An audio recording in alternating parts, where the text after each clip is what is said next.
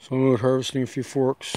Um, I'm doing a little bit of uh, snowshoe, snowshoe hare hunting. And I'm not seeing much. It's a beautiful day. Anyways, I decided to make these targets to bring with me. A Bit of uh, pieces of plywood. I had scraps left over. Um, that's not, that's me just trying to test out a marker on a, to put my maker's mark slingshot. Anyways, I made these. And uh, for practice, I put one up in that tree up there. The sun's awful bright. I put one down there underneath that tree. About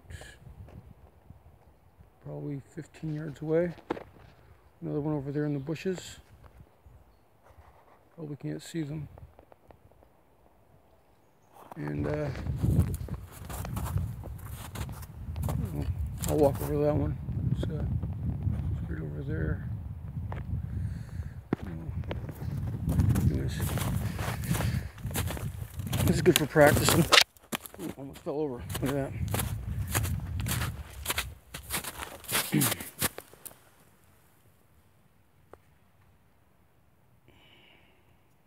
Smack that one right in the dead center. You can see it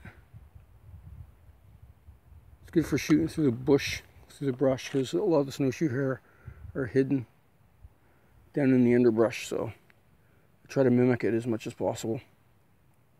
Anyways, that's the way I, that's the way I practice anyway.